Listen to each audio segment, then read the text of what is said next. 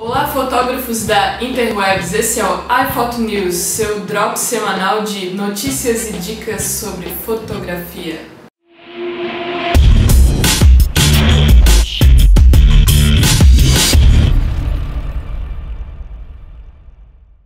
Canon lança câmera que chega a 4 milhões de ISO. Pois é, a câmera ME20F-SH filma em quase completo escuro. Essa câmera ela é indicada assim mais para videomakers, pessoas que filmam, por exemplo, vida selvagem, noturna, ou mesmo jornalistas investigadores que estão aí descobrindo crimes que acontecem na vida noturna. Ela não é tão indicada para fotógrafos porque ela tem uma pequena limitação, ela tem apenas 2 megapixels.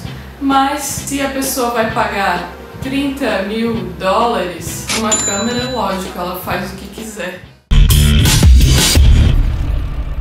Cinco erros que fotógrafos iniciantes cometem ao compartilhar suas fotos na internet.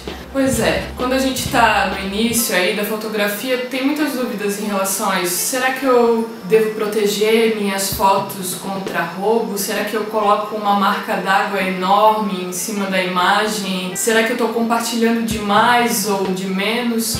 Essas dúvidas você pode sanar aí no link da matéria que vai estar aqui na descrição do vídeo. Inscrições abertas para o concurso fotográfico da Unesco. O tema do concurso é Patrimônio Cultural e você pode participar através do Facebook e do Instagram. Você faz uma foto, por exemplo, de um monumento ou de uma festa típica, com 50 caracteres explica por que esse patrimônio é importante e usa a hashtag Unite for Heritage.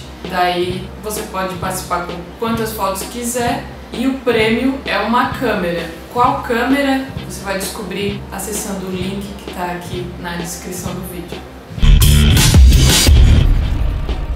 Nikon lança três novas lentes, três opções variadas para os Nikon maníacos. São as lentes 24-70mm com f 2.8 e VR, a 24mm f 1.8 e a 200-500mm fixa, que é, tem um F de 5.6 e também é VR. Mais informações sobre as lentes e lançamento delas, além de preço, você confere lá no iPhotochannel.com.br.